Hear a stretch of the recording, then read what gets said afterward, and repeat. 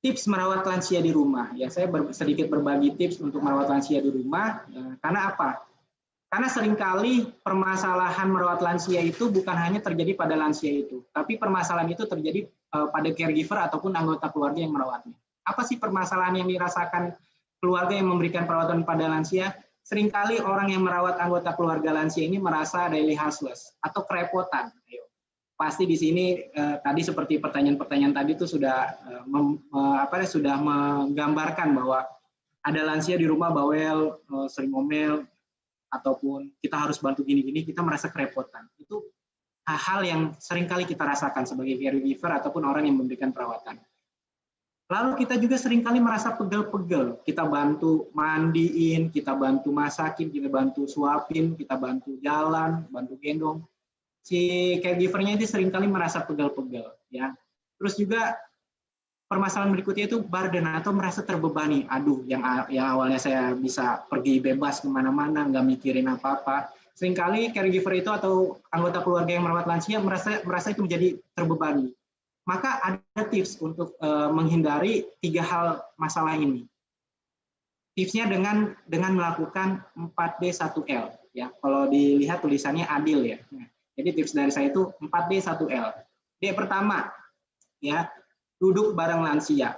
Sesibuk apa pun kita sebagai cucu ataupun sebagai anak, luangkan waktu 15 sampai 30 menit ya, entah sebelum pergi ke kantor ataupun sudah pergi ke kantor untuk duduk bareng lansia. Duduk aja dulu, urusan ngobrol mah belakangan gitu. Yang penting kita duduk bareng aja dulu. Kalau kita udah duduk bareng, pasti nanti muncul suara-suara entah dari kita duluan atau dari lansia duluan. Mau dia kalau dari lansia mau suaranya ngomel atau suaranya ngeluh, biarkan saja. Karena apa? Kita harus melakukan yang dia yang kedua. Dengarkan lansia. Ketika lansia itu mulai bersuara, ketika sudah duduk bareng, kita jangan menjadi orang yang menceramahi uh, lansia kita, tapi kita harus berusaha menjadi pendengar yang baik. Ya, pendengar yang baik, bukan pendengar yang aktif. Cukup menjadi pendengar yang baik. Ya. Yang ketiga, kita dongkrak semangat lansia. Yang ketiga itu dongkrak semangat lansia. Saat kita sudah mulai uh, dengerin keluhannya, dengerin omelannya, jangan kita justice dia, jangan uh, kita berikan hukuman ke dia, jangan kita menyalahkan dia, tapi bangun bangun komunikasi untuk mendongkrak semangat lansia itu agar tetap semangat, tetap positif dan tetap uh, bisa produktif dalam kehidupannya. Yang keempat, dekatkan seluruh keinginan lansia. Apa pun keinginan lansianya, kita berusaha dekatkan, ya. Dekatkan itu belum berarti terwujudkan. Jadi kita harus berusaha dekatkan misalkan lansianya seperti kondisi yang saya contohkan tadi, uh, stroke, uh, post stroke, punya hipertensi, dia pengen makan durian. Dekatkan aja bahwa dia bisa makan durian. Tapi syaratnya apa? Gitu. Atau misalkan lansianya pengen pengen apa yang yang sulit-sulit, pengen makan rendang padahal kolesterolnya tinggi. Dekatkan aja dulu oh, mama atau kakek makan rendang mau. Mau. Boleh. Minggu besok uh, aku beliin rendangnya. Tapi kolesterol mamanya harus dijaga dulu nih, biar mama bisa nyicipin rendang. Atau misalkan lansianya pengen apa?